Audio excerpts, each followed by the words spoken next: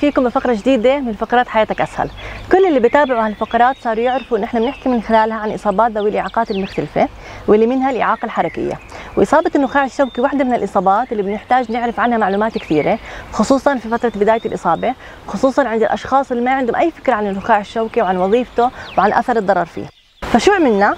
طلبنا من مصابي النخاع الشوكي الأسئلة اللي كانوا يبحثوا عن إجاباتها في فترة بداية إصابتهم والأسئلة اللي لسه بيبحثوا عن إجاباتها كمان لحتى نجاوبهم عنها بهالفقرة. واللي حيجاوب عنها استشاري جراحة الدماغ والأعصاب الدكتور محمد أبو جاموس على الصعيد الشخصي الدكتور محمد هو الطبيب المعالج لحالتي من بداية إصابتي. هو اللي ثبت لي الفقرات المكسورة في عمود الفقري إضافة للعلاجات اللي احتاجتها من بداية إصابتي. من فترة بداية إصابتي وأنا أحس إني بين إيدين أمينة لأنه من أمهر الأطباء على مستوى الوطن العربي. الدكتور محمد أبو جاموس استشاري جراحة الدماغ والأعصاب حاصل على البورد الأردني وعلى البورد الياباني وعلى الزمالة الأمريكية في جراحة الدماغ والأعصاب. أكيد لازم أقدم للدكتور محمد أكبر شكر وتقدير على تعاونه معنا وعلى المعلومات اللي حيقدم لكم إياها بهالفقرة اللي متأكدة إنكم رح تستفيدوا منها. احضروا هالفقرة وشوفونا بفقرة جديدة من فقرات حياتك أسهل. دمتم طيبين.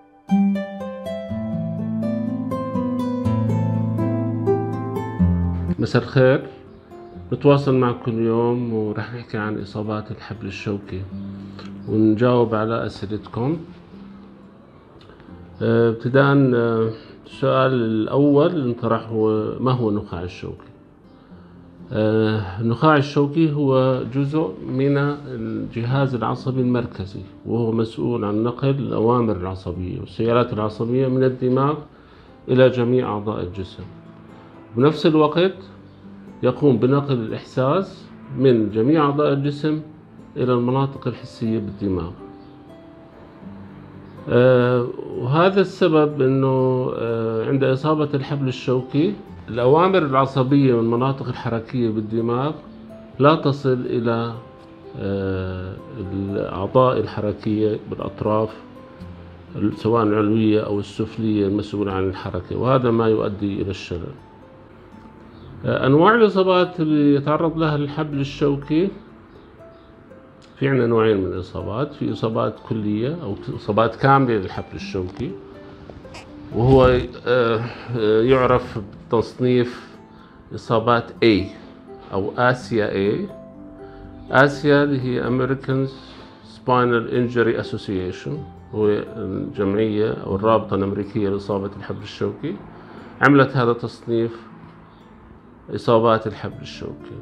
فالتصنيف الأول بنحكي آسيا إيه وهي لما تكون عندنا الإصابة كاملة.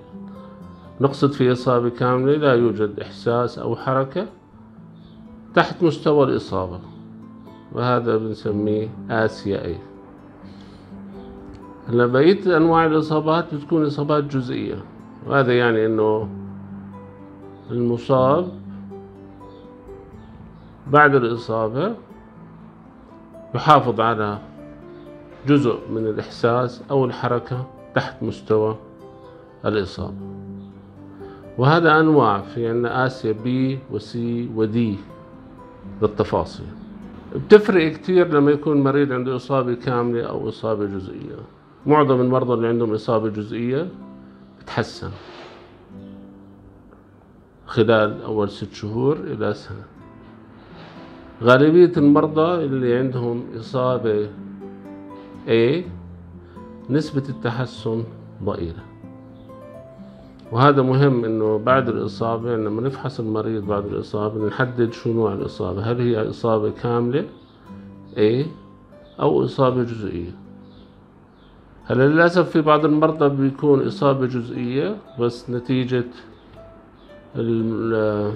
نوع الإجراءات اللي بتصير لهم داخل أو بعد الحادث أثناء فحصهم موقع الحادث أو عند نقلهم للمستشفى بعض الإجراءات تكون غير سليمة ويتم تحريك المريض بطريقة غير صحيحة فبيؤدي إلى تحويل الإصابة من إصابة جزئية إلى إصابة كاملة.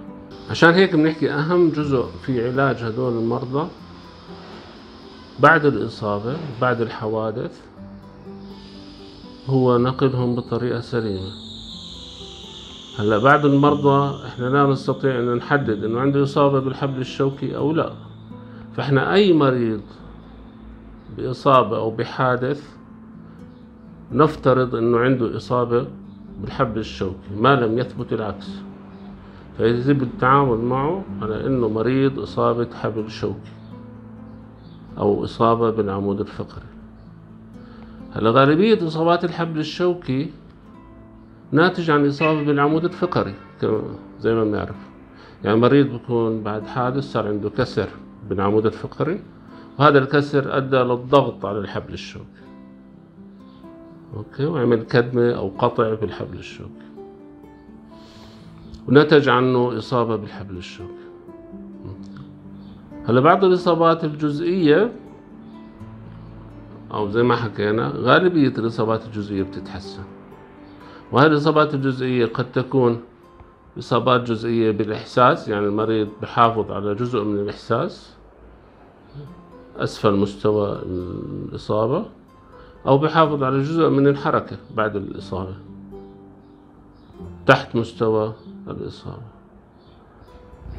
أي نوع من الإصابات الجزئية يتحسن بنسبة عالية. جانا سؤال يمكن جاوبنا عنه.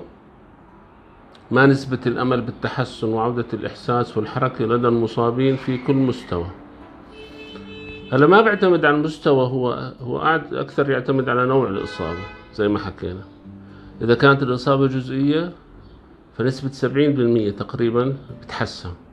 هلا في بعض الدراسات تحكي إنه حتى الإصابات الكاملة تتحسن.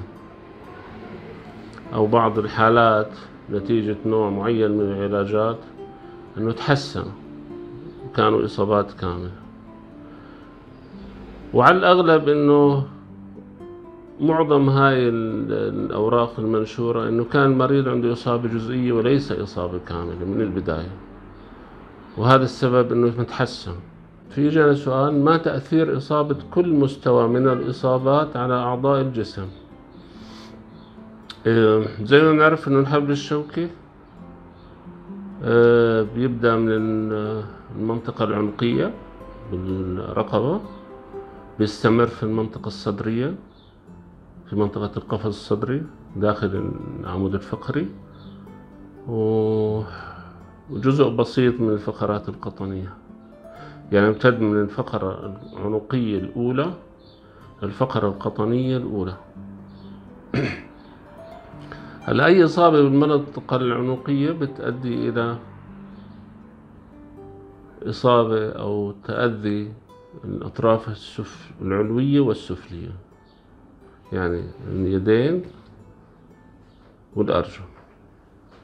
لما تكون الإصابة مستوى الفقرات الصدرية أو الفقرة القطنية الأولى بيكون التأثير على الأطراف السفلية فقط ولا تتأذى الأطراف العلوية هذا شيء مهم كمان الحبل الشوكي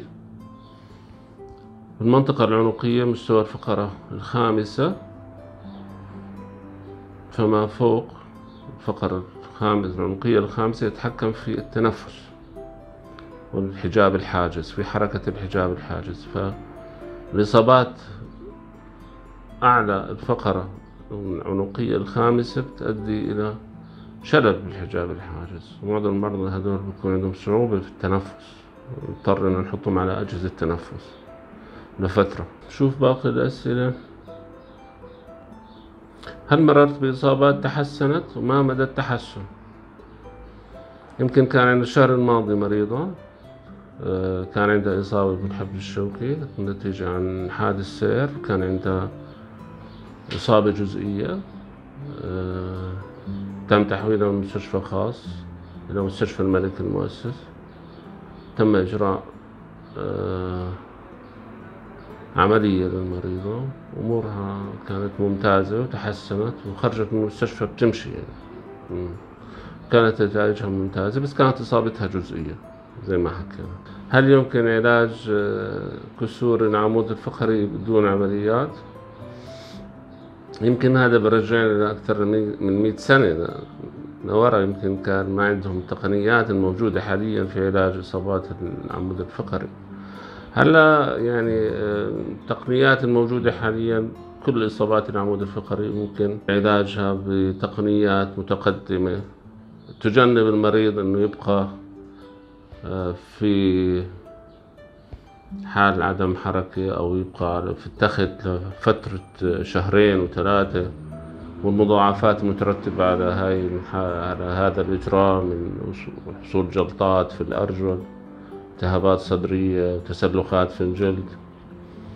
فهلأ ممكن إحنا نعالج يعني الأولويات إن نعالج الكسر مباشرة بالسرعة الممكنة وتثبيته بطرق مختلفة. هل يؤثر هذا على النخاع؟ طبعا. تثبيت الكسر بالسرعة الممكنة يجنب حدوث إصابات ثانوية بالنخاع الشوكي لأنه إذا الكسر غير مثبت أي حركة للمريض تؤدي إلى حركة أو ضغط على الحبل الشوكي نجاوب على آخر سؤال.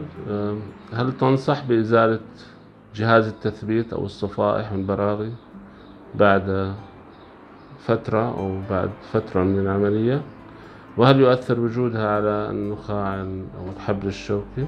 في العادة لا نقوم بإزالة جهاز التثبيت. الصفائح والبراغي بعد فترة من العمليات. آه، لأن وجوده أصلا لا يؤثر على الحبل الشوكي ولا يؤثر على حياة المريض إلا إذا صار منها مضاعفات. أنه صار التهاب أو صار كسر في جهاز التثبيت ممكن أن نقوم باستبداله أو تغييره. آه، معظم المرضى هذول عندهم ضعف في عضلات العمود الفقري في العضلات.